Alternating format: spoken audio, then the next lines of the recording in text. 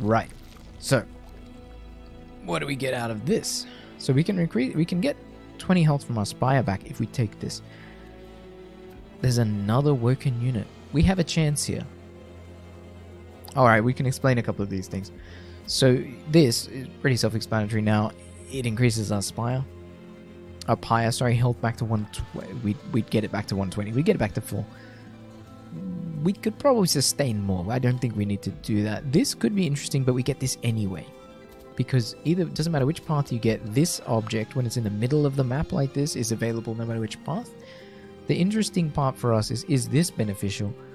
Do we want to increase spells or do we want to increase our usefulness? Th- there are some cases where we could increase our spell count, but I think we need more units. I don't think we've got enough useful units yet.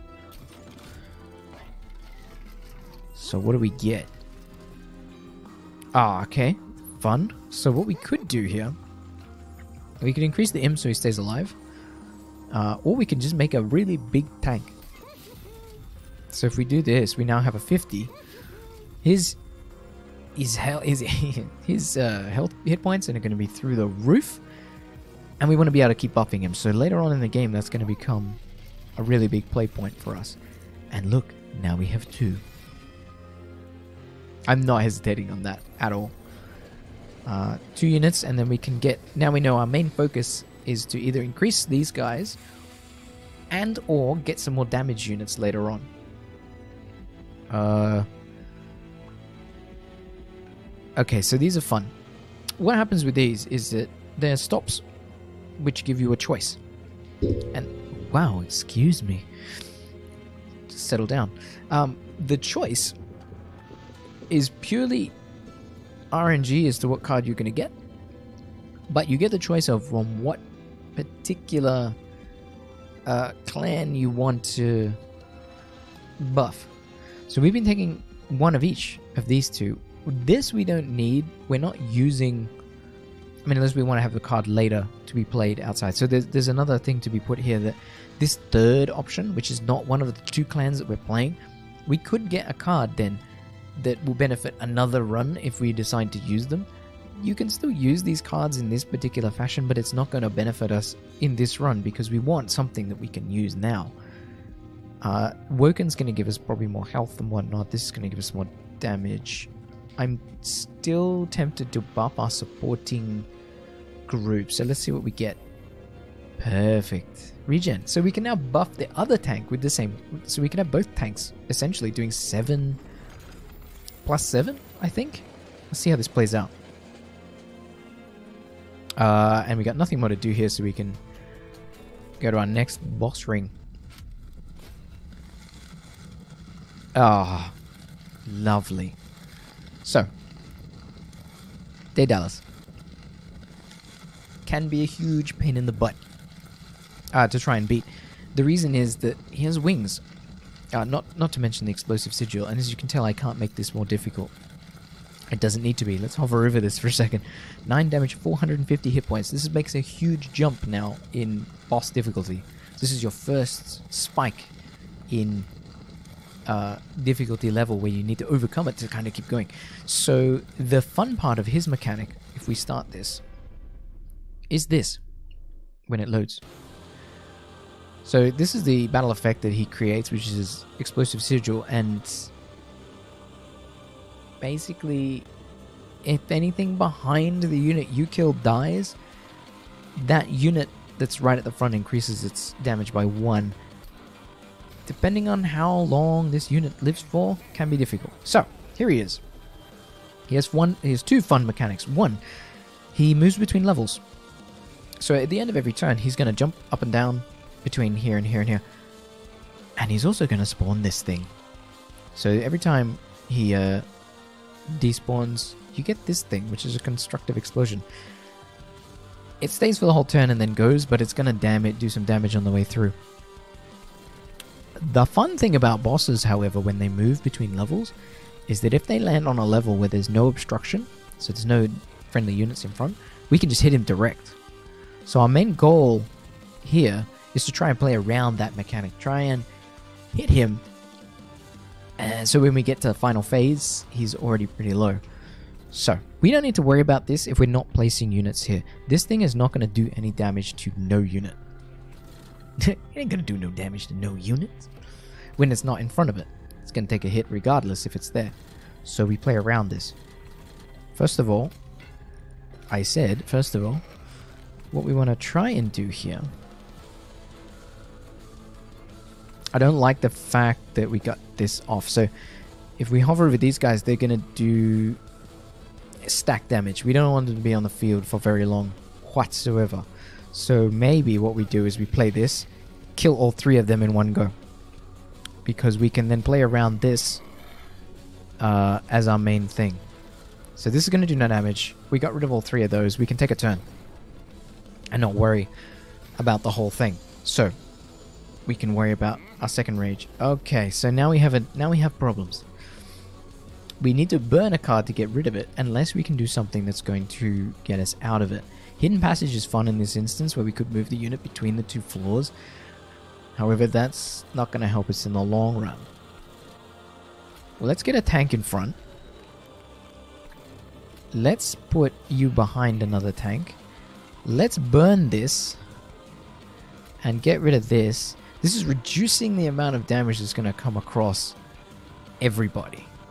Uh, I feel because if we don't, if we don't mitigate that anytime soon, uh, it's going to eat at us.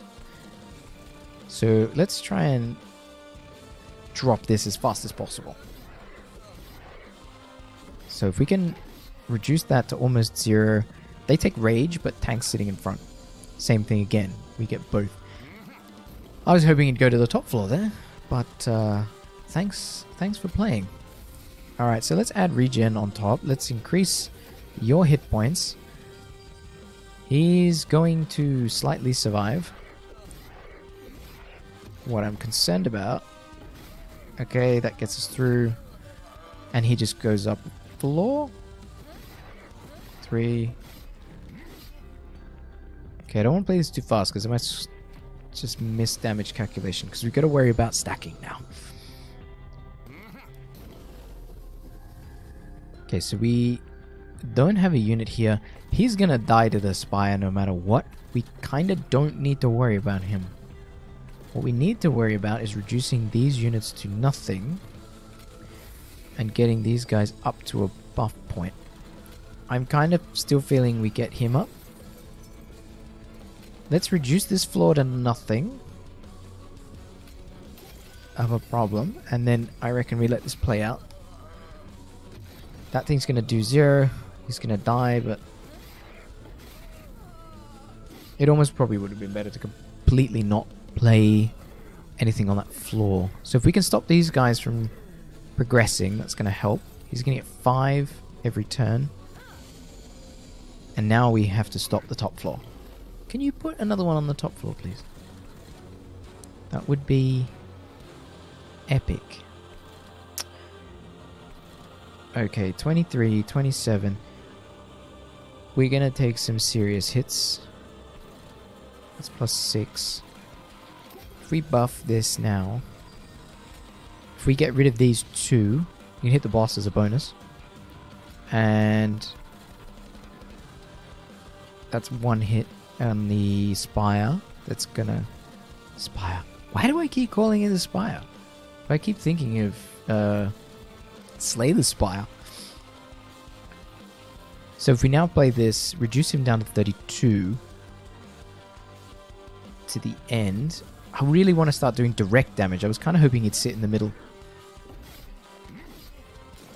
Ah, couldn't get him to zero there. So that's two hits. We're still above 100. It's not an issue yet. Okay, that'll die on final wave. Cool. This is kind of what we want. So, let's fit you up here. Let's get survivability happening. He's going to die anyway, so let's cast that here. Let's get some more health and get our survivability up. I really wish we had more armor because we would get the back and forth. We might have a problem now for survivability. We could lose this because 248 on this floor, that still leaves I don't, I'm not con- confident on the tankiness. We might have to worry about another two turns. So we'll get the... Let's just speed this up because we know what's going to happen. So we'll be down to 200 and something. Okay, we're below 200.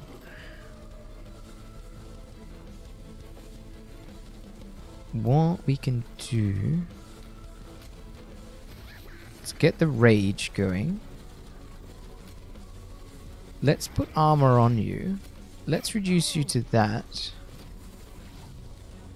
This gets us double the hit points throughput. And it could, re it'll reduce us down. If we can get him below 100, like 50. Good stuff. Okay. Now we can have some fun. So let's do that. Let's let's burn. And then even if he gets to the spire, that's one hit on the spire and he should die. That wasn't ideal. We really need to focus on having more armor in front of our units now. Oh, now we get some interesting choices. Full health is great for tanks. Regen and spikes 2, we could buff slightly. I'm leaning towards this still. Okay, Channel Song is fun because when you draw a card from your deck and you get something, you could get one of your base units, right? So this is where it becomes interesting. If you draw, say, this guy or one of these, what actually happens, it gets 20 damage and 20 health straight off the bat, and it costs nothing to play. It could be useful later. Restore full health. I think we need this in a pinch. Oh, far out. That's good. So, we have an issue with pulling a card like this. Um, the problem with this... The, the issue with playing him is we needed to play more imps to make him viable. Now, unless I get a... There's a particular card that we can get which will play any cards from your deck onto a floor. Highly... The probability of getting that's uncomfortable. So we probably don't want to do that. But if we get more imps in the future, we could play two or three imps, reduce him down to playable size. It's 100 damage. It's it can be useful. I I had a run where I had three of these, and the floor one, and it was great because I didn't have to pay for them. But we can't take the affordance. Um. All right. So we get an extra. Either we get an extra card, we get an extra player slot on each floor. So we reduce this up to like six, I think, six. Or we get an extra flame, like an ember. At this point, we're probably going to need more embers. I feel to make this build viable.